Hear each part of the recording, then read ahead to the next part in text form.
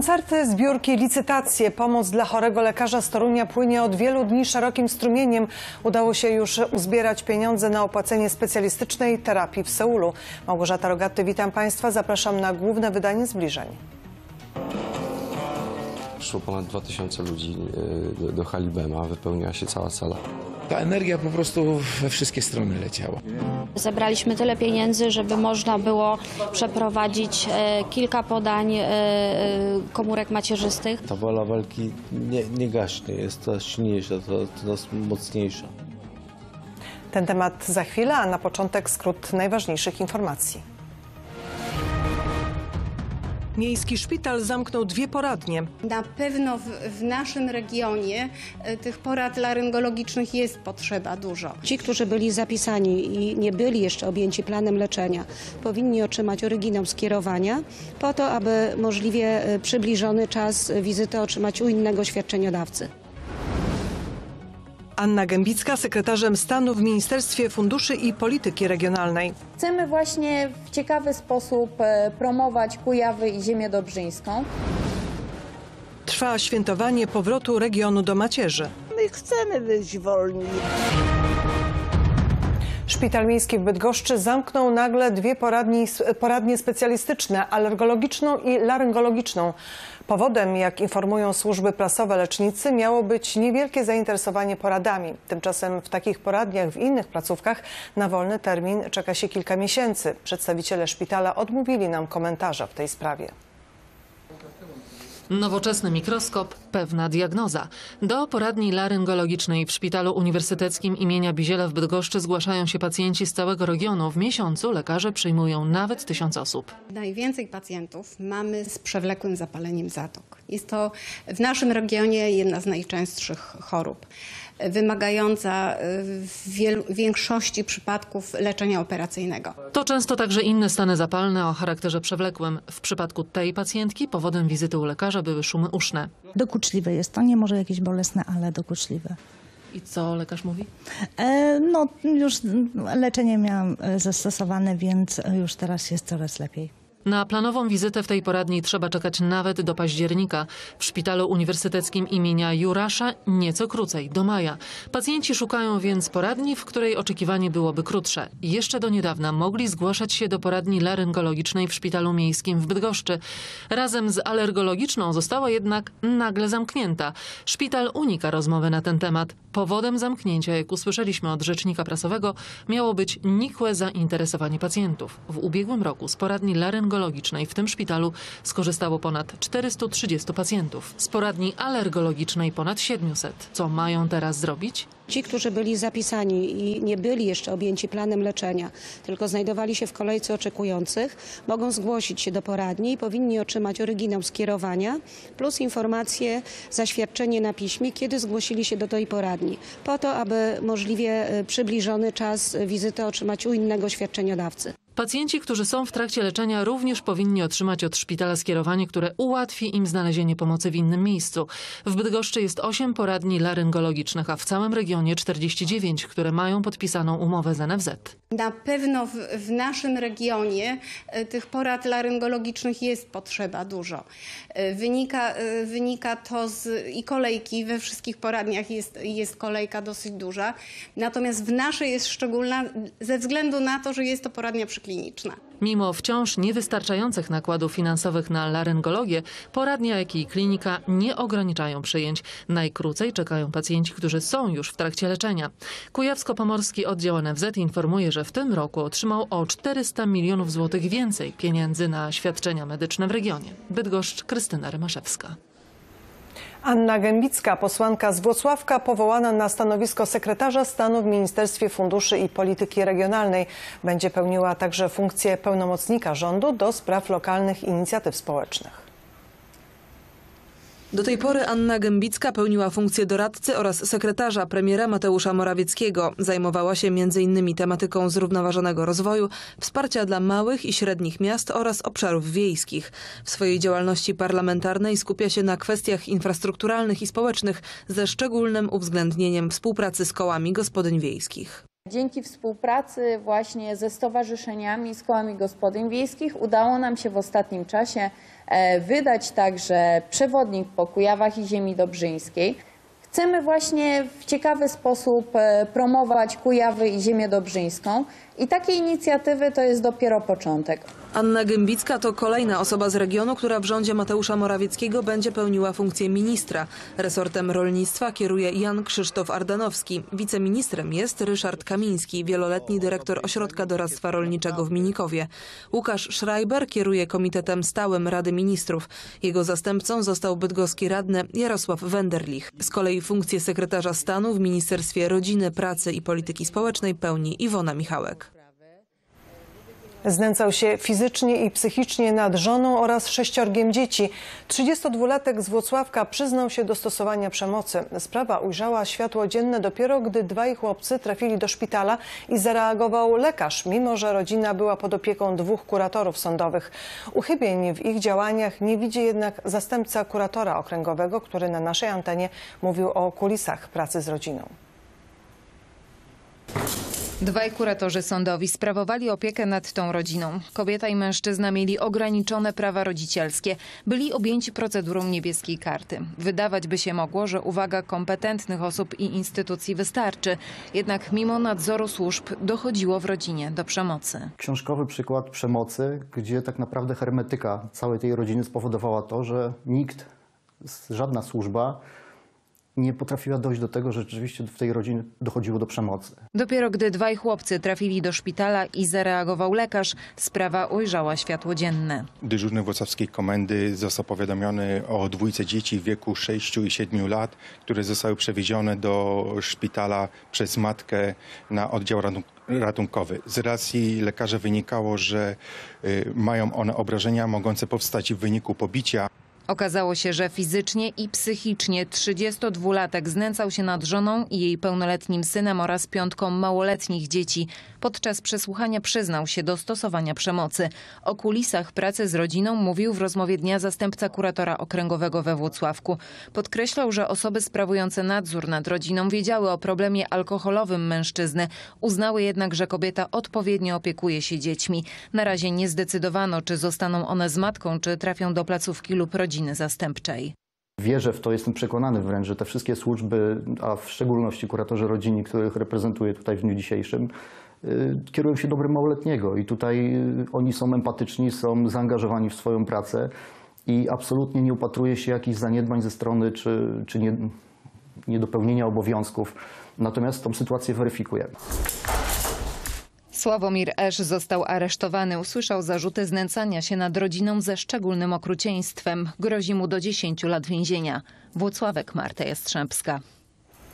Przypomnę, że rozmowa dnia od poniedziałku do piątku na naszej antenie o godzinie 18.15. A początek 2020 roku upływa pod znakiem wydarzeń związanych z odzyskaniem niepodległości. Dziś oficjalne uroczystości odbyły się w Chełmży, gdzie świętowano setną rocznicę powrotu miasta do wolnej Polski. Rok 2020 upływa pod znakiem wydarzeń związanych z odzyskaniem niepodległości. Dzisiaj, tak jak i 100 lat temu, świętuje Chełmża. Tutaj 100 lat temu stało Wojsko Polskie, wyzwalając miasto spod zarządu niemieckiego. Na czele polskiej armii stali m.in. major Włodzimierz Swoiński i ksiądz Józef Wrycza. Cała uroczystość odbyła się już na przedmieściach miasta Chełmży pod tak zwanym krzyżem na ulicy Toruńskiej. Centralne wydarzenie odbyło się tu na rynku, natomiast przekazanie kluczy i powierzenie tymczasowemu burmistrzowi obowiązków szefowania w mieście, a więc Bronisławowi Kurzętkowskiemu odbyło się już w ratuszu. To przede wszystkim ważna rocznica dla mieszkańców miasta. Mieszkańcy uzyskali po 126 latach niewoli Wolność. niemieckiej wolność i bardzo się z tego cieszyli. Gdyby nie było wolności, to nie wiemy, gdzie byśmy dzisiaj byli wszyscy, pod jakim zaborem. A my chcemy być wolni jednak. To jest dla nas przeżycie wielkie. 100 lat odzyskania niepodległości. No to jest wielkie święto dla nas. W uroczystości patriotycznej wzięli udział m.in. samorządowcy, władze miasta, harcerze oraz mieszkańcy Chełmży. Robiono wszystko, żeby przechować e, nie tylko w sercach, ale w praktyce Polskę, chociaż przecież wtedy bez granic ona tu wciąż żyła. W ramach obchodów odprawiono również mszę świętą, której przewodniczył ordynariusz toruński biskup Wiesław Śmigiel. Chełmża Natalia Kurowska. A podczas obchodów stulecia powrotu Bydgoszczy do Polski można było podziwiać makietę przedstawiającą stary rynek z 1920 roku. Pojawiły się na niej innymi polskie oddziały wkraczające do miasta. Makietę przygotował menadżer Starego Miasta i Śródmieścia Maciej Bakalarczyk. Tak wyglądał stary rynek w Bydgoszczy 100 lat temu. Na placu polscy żołnierze, którzy wkroczyli do miasta. Makieta przybliża nieistniejącą dziś zachodnią pierzeję bydgoskiego rynku. To dopiero początek budowania miniaturowego miasta sprzed 100 lat. Docelowo ta makieta, która ma być jedną z makiet, będzie zawierała Bydgoszcz 1920 roku od mniej więcej dzisiejszej synagogi, łącznie z pokazaniem synagogi, która będzie niezłym wyzwaniem w związku z dekorem, który tam jest na elewacji, aż do Teatru Miejskiego. Czyli ma pokazać teren, na którym straciliśmy najciekawsze budynki i bardzo dużo się zmieniło, na przykład to, że ulica Kręta była kiedyś prawdziwie Kręta i to też będzie pokazane na tej makiecie. Odwzorowanie miasta to oprócz samej budowy z plastiku, papieru i tektury drobiazgowa praca dokumentacyjna. Autor przeszukał archiwa, by odnaleźć zdjęcia i pocztówki z tamtych lat. Efekt na żywo można podziwiać przy okazji wydarzeń organizowanych w centrum miasta. Zawsze te wydarzenia mają w sobie jakiś element historii i w związku z tym makieta trochę podąża za wydarzeniami. Była już na Gdańskiej, była w centrum, była w różnych lokalach, czasami nawet w pustych kamienicach. Myślę, że na wiosnę będzie można ją spotkać kolejny raz i za każdym razem ona nieco się zmienia, rozszerza się lub pokazuje coś innego. Budowa makiety jest częścią projektu Podwórko Tajemnic. Obecnie autor pracuje nad kolejnymi elementami Starego Rynku, ale także ulicą Jatki oraz Mostową. Bydgoszcz, Katarzyna Ormanowska. To jest główne wydanie zbliżeń. Co jeszcze przed nami? Nowy budynek dla Muzeum Kanału Bydgoskiego. Święto babci dzisiaj, jutro Dzień Dziadka. Już kilkanaście tysięcy osób, w tym znanych artystów, zaangażowało się w pomoc dla neurochirurga Pawła Zdrojeckiego. Lekarz, który przez lata leczył tysiące pacjentów, choruje na stwardnienie zanikowe boczne i sam potrzebuje wsparcia. Podczas koncertu Moc dla Pawła udało się zebrać około 100 tysięcy złotych. Kwota na koncie Fundacji Się Pomaga wynosi ponad 1 300 tysięcy złotych i pozwala na opłacenie specjalistycznej terapii w Seulu. Wcześniej planowano leczenie w Izraelu, ale na to potrzeba 3 milionów złotych. Wszystko zaczęło się rok temu. To wtedy usłyszał diagnozę, która wywróciła jego życie do góry nogami. Stwardnienie zanikowe boczne. To jedna z chorób, na które nie znaleziono dotychczas lekarstwa. Wola walki zawsze była, ale tak jak, e, tak jak każdy człowiek, są chwile zwątpienia. E, dzięki takim inicjatywom, e, czasami osób zupełnie obcych dla mnie, ta wola walki nie, nie gaśnie, jest coraz silniejsza, coraz, coraz mocniejsza. Doktor Paweł Trojecki to chirurg naczyniowy, który jeszcze do niedawna przeprowadzał skomplikowane operacje. Wielokrotnie ratował ludzkie życie. Teraz musi walczyć o siebie. Szansą jest terapia w Seulu. W Seulu e, ta terapia jest tańsza. E, Zebraliśmy tyle pieniędzy, żeby można było przeprowadzić e, kilka podań komórek macierzystych. Paweł będzie leciał e, 12 lutego. To jest leczenie, które spowalnia chorobę. To trzeba e, powiedzieć otwarcie. To nie jest leczenie, które umożliwia powrót do zdrowia. Natomiast e, ono, ono ma za zadanie spowolnić chorobę, jak najbardziej jest to możliwe. Myślę, że setki ludzi ze służby zdrowia, e, którzy przyszli Pomysłodawczynią koncertu Moc dla Pawła była Dagna Całbecka, żona marszałka województwa, która była obecna na pierwszym koncercie charytatywnym w Baju Pomorskim.